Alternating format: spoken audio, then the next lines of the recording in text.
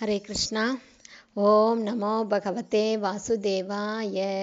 नारायणं नमस्कृत्यं नरं चैव नरोत्तमं।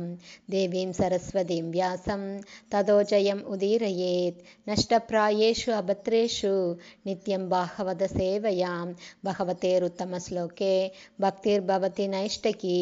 मुखं करोति वाचालं पङ्गुं लङ्कायते गिरिं यत्कृपातमहं वन्दे श्रीगुरुं दीनतारिणं ஸ்ரீ சைத்தன்ய ஈஸ்வரம் హరే కృష్ణ శిల గురుదేవ్కి జై శిల ప్రభుపాదికి జై Hare Krishna Srimad Bhagavatam canto one chapter nineteen Sukadeva கோஸ்வாமியின் வருகை பதம் முப்பத்தி ஏழு. அதக பிரிச்சாமி சம்சித்திம் யோகினாம் பரமம் குரும். புருஷஸ் ஏக யத்காரியம் மிரியமானஷ்ய சர்வதா. டிரான்ஸ்லேஷன் பெரும் முனிவர்களுக்கும் பக்தர்களுக்கும் தாங்கள்தான் பரமகுரு. எனவே அனைவருக்கும் ஏற்ற பூரணத்துவம் அடையும் வழியை குறிப்பாக மரணத்தின் வாயிலில் இருப்பவனுக்கு ஏற்ற வழியை காட்டியருளும்படி உங்களை மன்றாடி கேட்டுக்கொள்கிறேன். பர்பட் பிரபுபா ஷீல பிரபுபாத் ஜெய் பிரபுபாத் பூரணத்துவம் அடையும் வழியை பற்றி விசாரணை செய்வதில் ஒருவன் மிகவும் ஆவலுள்ளவனாக இருக்க வேண்டும். இல்லையென்றால் ஆன்மீக குருவை அணுக வேண்டிய அவசியம் அவனுக்கு இல்லை. ஆன்மீக குரு குடும்பஸ்தனுக்குரிய ஒரு வகையான அலங்காரப் பொருள் அல்ல. பொதுவாக இன்றைய பௌதீகவாதி ஒருவன் எந்த லாபமும் இல்லாதபடி பெயரளவேயான ஒரு குருவை ஏற்றுக்கொள்கிறான். போலியான அந்த குரு பெயரளவே ஆன சீடனை முகஸ்துதி செய்கிறார். இதனால் போலியான அந்த குரு சீடன் ஆகிய இருவருமே சந்தேகமில்லாமல் நரகத்திற்கு செல்கின்றனர். பரீட்சித் மகாராஜா எல்லோருக்கும் ஏற்ற குறிப்பாக இறந்து கொண்டிருக்கும் மக்களுக்கு ஏற்ற ஜீவாதாரமான கேள்விகளை கேட்டு தகுதியுள்ள ஒரு சீடருக்கு இலக்கணமாக விளங்குகிறார். ஸ்ரீமத் பாகவதத்தின் முழு கோட்பாட்டிற்கும் பரீட்சித் மகாராஜாவின் கேள்விகளே அடிப்படை கொள்கையாக அமைகிறது.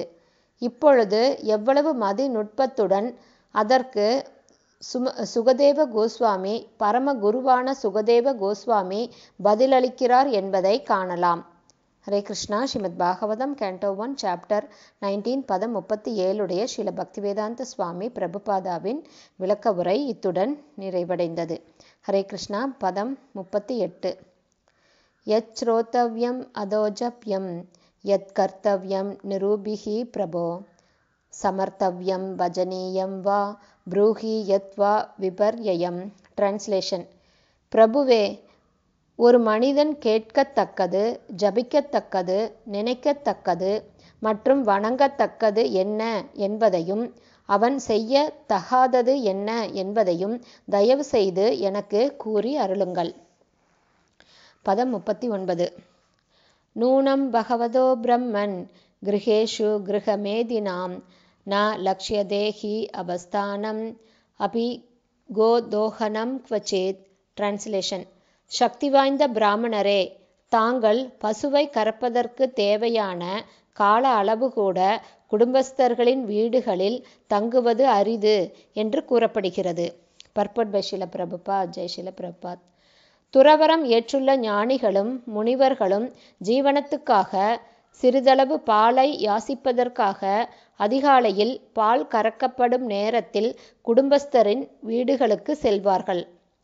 ஒரு பசுவின் மடியிலிருந்து பெறப்படும் ஒரு பவுண்ட் பால் ஒரு பவுண்ட் பால் வயது வந்த ஒருவருக்கு தேவையான எல்லா ஜீவ சத்துகளையும் தருவதற்கு போதுமானதாகும்.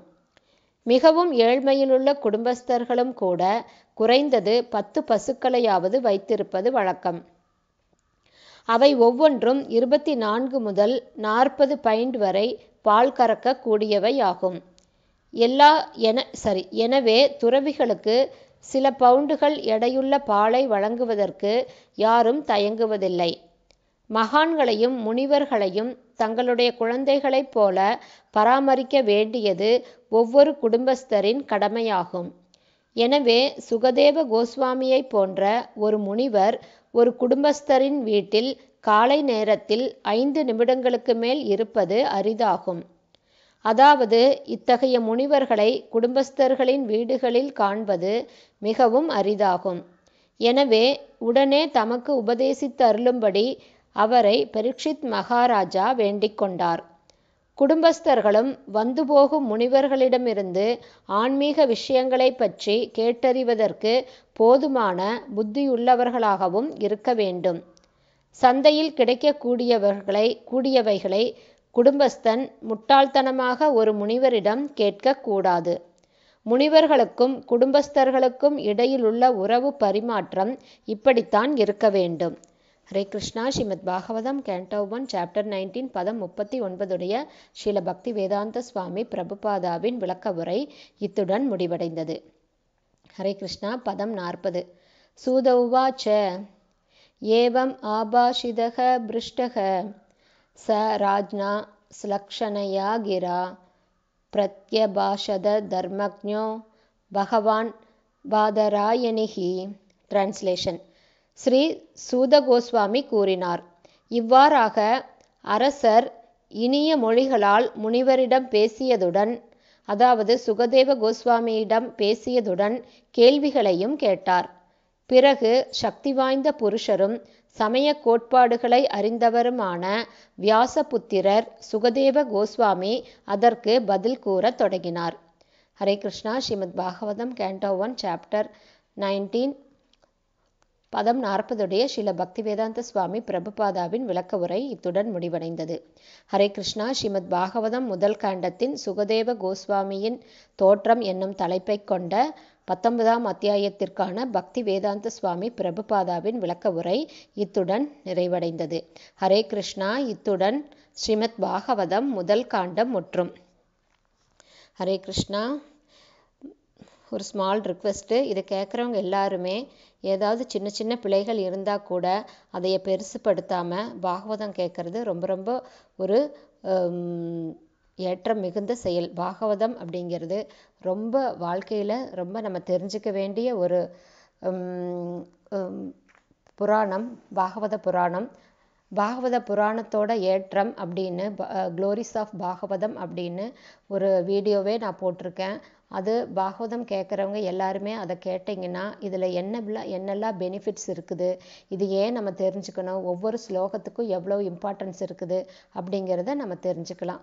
Hare Krishna thank you so much Hare Krishna Hari pole.